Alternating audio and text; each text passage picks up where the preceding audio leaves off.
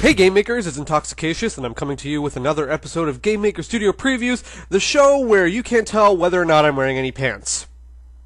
Uh, I was on the IndieDB, that's the indiedatabase.com, and uh, searching around for Game Maker Studio games, and I stumbled upon this game called Diagnosis. And uh, piqued my interest because it's a medical game. You don't really get a lot of uh, educational type medical games. It's not action oriented. You know, it's it's. Oh, I've been having cola. It's just diagnosing patients, and it's on its way. It's only an alpha, so of course it's going to be uh, very um, sparse, I guess, in its features because it's it's on its way. But I think it's I think it's a good start, and I think uh, you might think so too. And you know you can help them out. Uh, the uh, Synaptico games. I couldn't find them on social media. Uh, they have a Gmail account, but that's about it. So I'm just scrolling through the IndieDB page, and I've been talking for more than a minute now. So uh, let me just hop into the game, and I'll show you why I think it's actually deserving of uh, a preview. Okay, so this is Diagnosis. Um, you it, like I said, like the features being sparse, the uh, art in alpha, the art can be placeholder and whatnot, um, but it's just a clipboard on a gray background. And we'll start a new game here. Um, there's no flashing cursor here to denote that you're writing in your name, but you are. So it says, uh, "What's the what's you name, Doctor? What's your?" Uh, so if you're watching Synaptico games, change that to your, and you're good to go. Uh, what's your name, Doctor? My last name is going to be Doctor K like I'm going to tell you my real last name, as if you couldn't just Google search it. anyway, I'm Dr. K. I'm going to continue. So this is the the basic uh, screen of the game. This is what you get. Uh, all your different tabs on your chart. The pencil does nothing, much like the goggles. This is your doctor's uh, index of symptoms and problems and, and whatnot. So, like appendicitis, which is inflammation of the appendix, and it goes on to describe it, says some common symptoms, and if you do tests, you get some expected test results. What should happen? And you can go through and you'll read each of the uh, issues that come up in the alpha version of the game. So you use that to switch between this book and the clipboard. Now, because as my career, Dr. K, I'm just pre-med, and has the diagnosis I've done correct, diagnoses, I should say, and the misdiagnoses that I've done. And then I have a reputation meter that I don't I don't really know. Last time I played, I didn't see it really moving or whatever, but we'll see this time. Um, and you're not allowed to do tests. See, because I'm I'm just I'm not that experienced yet, so I can't order tests. Uh, I can't question the patient. I'm just allowed to read the file right now and give my opinion to kind of level up and, and learn the game. So this patient, if I go back, cool that there's a, an admission time. Actually, that's the uh, time on my computer right now, so that's cool that I read that.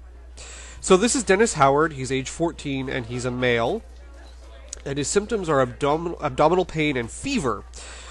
So I can go to diagnose this, and I've got three options. I can either say that it's appendicitis, asthma, or colorectal cancer.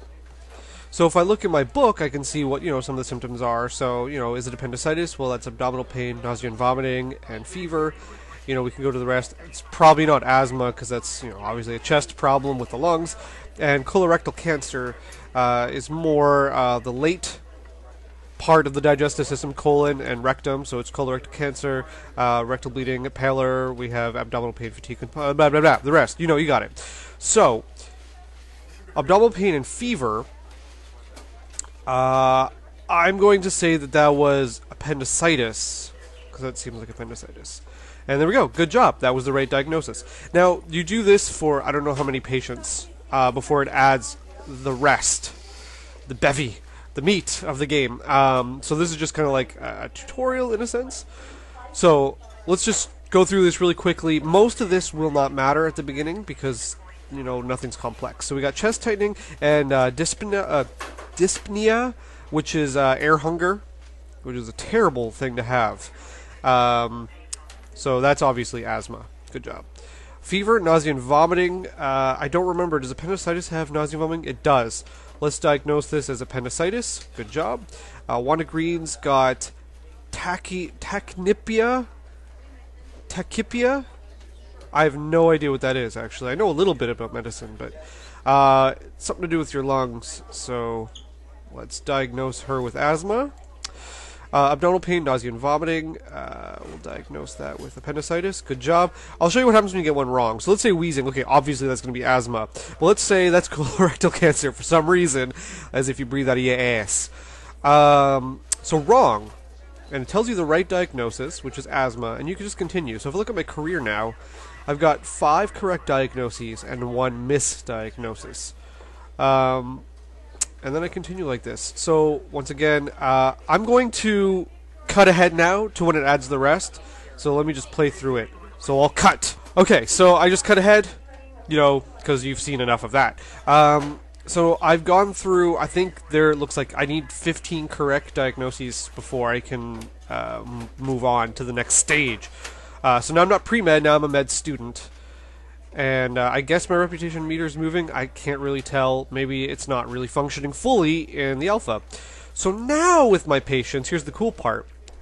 Um, she's got bleeding and fatigue. She's 80, first of all. So uh, we're going to have to run some tests. So now we've got, other than appendicitis, asthma, and colorectal cancer, the game has added the common cold, Crohn's disease, and diabetes um, mellitus. There are more, if you remember in the book, right? There's going to be like leukemia and cirrhosis and GERD. So, you know, there's another level after this. but anyway, here's why I want to show you this stage, because now we've introduced questioning and tests. So she's got bleeding and fatigue. Now, I could spend some time going through here and trying to figure out what's going on, but hey, I'm a doctor. Best to just question her first. Alright, tell me how long has been going on. So for two months, that's ridiculous. I don't know why she didn't come see me sooner. You're having problems for two months.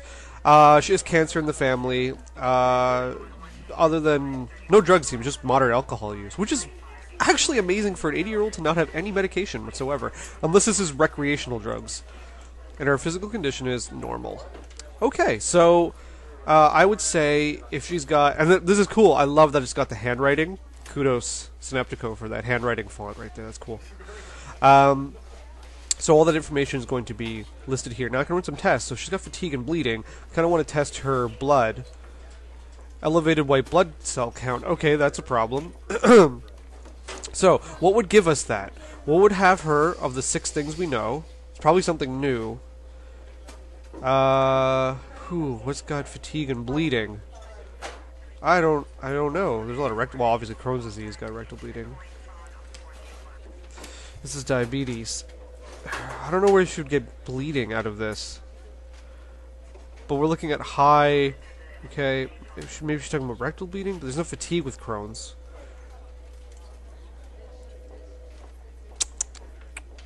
Alright, let's uh, let's do a urine test. No anomalies in the urine. Uh, I don't know if there's a penalty to keep testing people. You know, let's do an ultrasound. Oh, she has an inflamed appendix. Done. Okay, I think I figured out you got appendicitis. No! She has leukemia! I totally got housed.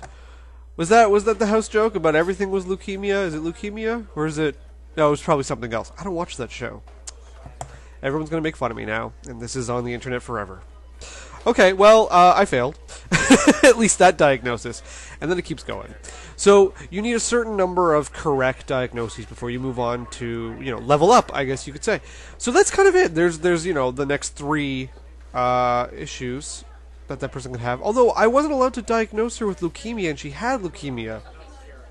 That's kind of unfair. You should probably look into that, guys. That I wouldn't have even. I couldn't even. Alright, I guess because I'm, I'm a med student. Anyway, Going on for too long. Game is Diagnosis. I've got the link to the IndieDB page if you want to check out the alpha and kind of track it on its progress. Uh, Synapt- Synaptico Games, if you're watching, uh, yeah, keep up the good work. This is this is really cool. I'd like to see where you can go with this. I'd like to see like, uh, I I imagine this is placeholder. I'd like to see some spiffier graphics. You know, this is uh, good for placeholder, but maybe if you can spruce it up a bit. But I like this idea, and you know, it's got the whole chatter of a, of a hospital going on. Which I hope, if you're releasing this game, that that's that's royalty free. That you're not stealing. As always, don't just take stuff. uh, yeah, and this is really good. So I hope that this uh, inspires you to make your own game, or you saw, saw something you like that you're going to put into your current game you guys are making, or whatever, right? So uh, with that, I'll just sign out with "Don't stop making games."